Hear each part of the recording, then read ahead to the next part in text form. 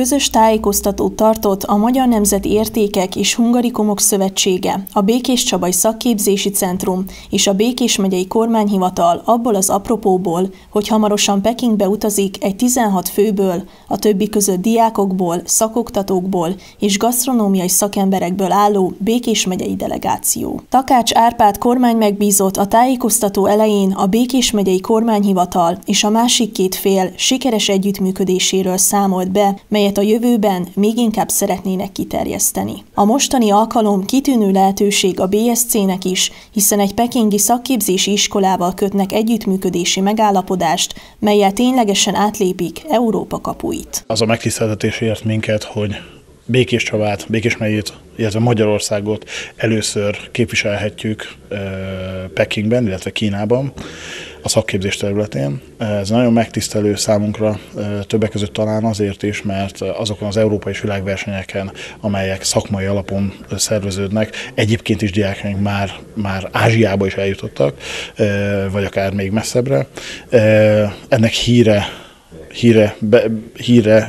eljutott a távolkeletre is, és talán ennek is köszönhető az, hogy a Békés Szakképzési Centrumra úgy gondolnak, egy olyan tudástranszfer központra gondolnak,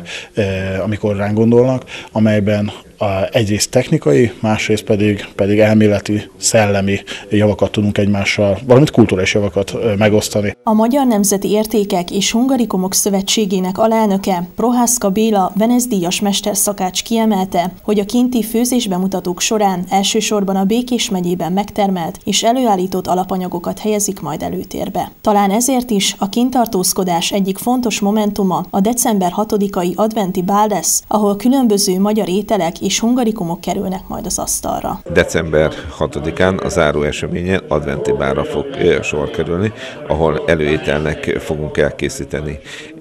egy bükfán füstölt kacsa mellett, hozzá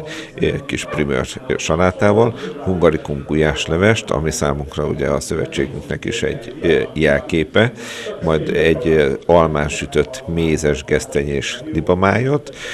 főételnek egy borjú érmét fogunk magyarosan elkészíteni, egy desszertnek egy magyar rapszódiát, ahol már egy új hungarikumot is tudunk majd üdvözölni, nem más, mint a dobostortát, a zserbót, a rákóci eh, túrost egy picit ünnepi köntösben, és hát tematikus eh, napok is lesznek, ahol Balog László és Juhász Zoltán cukrászmesterek bemutatják a szaloncukrot. A két ország közötti már 70 éve fennálló gyümölcsöző diplomáciai kapcsolat mindkét fél részére rendkívüli előnyt jelent, hiszen még a távol-keleti ország megismerkedhet a nyugati gasztrokultúrával és a hazai egészségügy és szociális területen végzett munkával, addig a Békés megyei diákok és szakoktatók számos új technológia és tudásbirtokosává válhatnak a kint töltött idő alatt.